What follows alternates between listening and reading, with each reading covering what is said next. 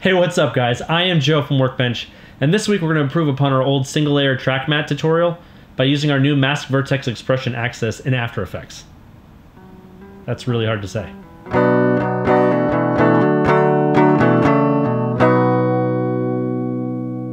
The other day I got a comment in an older tutorial. It was single layer track mattes, I think that was number 7. And I realized that now that we can access mask points in an expression, that we can use that to offset things like position, so we can move a layer around but have the mask locked to where we made it originally.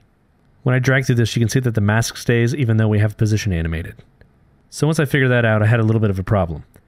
If I want to scale this down, and then I want to scale this down to match, that seems fine, but when this moves, it shifts.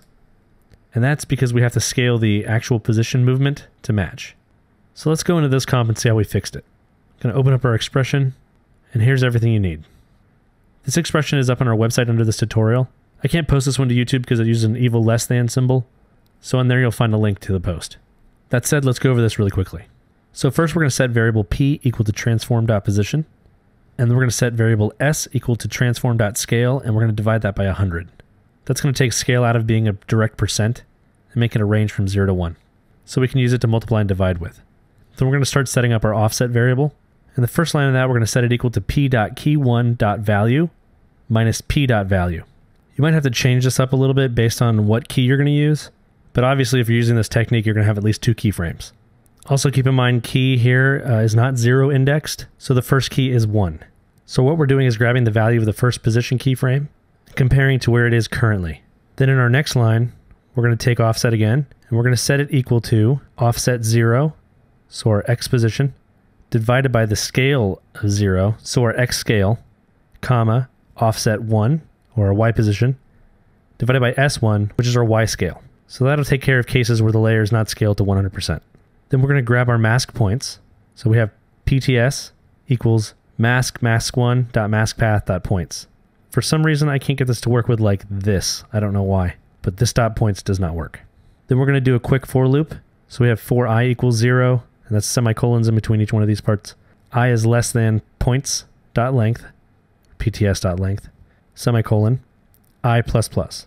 So for the total programming noob, that means we're going to start off at variable i equal to 0, and while it is less than the length of the array of points, so while we haven't gone through every point yet, we're going to increment i by 1, which is the i++, plus, every time it runs through the loop. So the first time it's 0 until we reach this bracket, and then it becomes 1, and then it goes back through the loop. So in this points array, we're going to set points at position i, those are brackets around the i, equal to points i plus offset. So this basically negates the movement of position.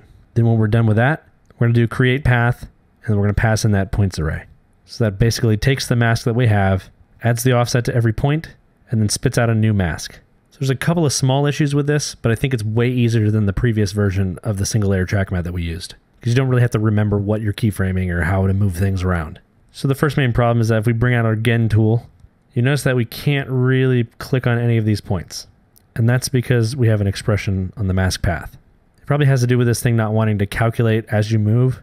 So the simple way to be able to modify your mask is just to turn off the expression. So now you can move it around. So the other problem we have is that if we turn this back on and we move down in time to where this thing is moved already, and we turn this off, you notice the mask jumps. And that's because this expression is the only thing keeping the mask where it was. So if you want to modify this and see where you're actually moving it, you have to be at the time that this keyframe references. And that's why I said you might have to modify this line where it picks which key that you're looking at as reference. But once you move this thing around, turn this back on, and it's locked again. So it's really not a huge deal. The best way to use this is just set this up on a layer, put a position keyframe on it, even do your old animation if you want. Then go back to first position, draw your mask in, open up your mask properties, say this is gone already, get rid of that, and just select that. And then I'm going to use Quiver, which you can see I'm actually working on a new version here. I pull up lock mask. I'm going to add it to it. See right there, there we go. And then it's working again. And as you can see, what's really neat, since we used the X and Y scale, is that we can actually scale this bigger. I'm just going to leave that so you can, you can see it lock in. But now as it moves, it will still stay in place no matter how you scale these things. If you wanted to negate the scale, you could probably do something similar. I haven't built that yet.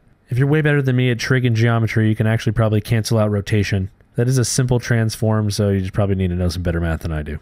I'll probably figure it out at some point. It might even be possible that just using toComp or something like that could actually work fine. I didn't have time to test that out, but this should fit most use cases, especially considering the tutorial before. So that's it. I hope you guys enjoyed that and maybe take it further. If you have any comments or questions, leave them in the comments down below.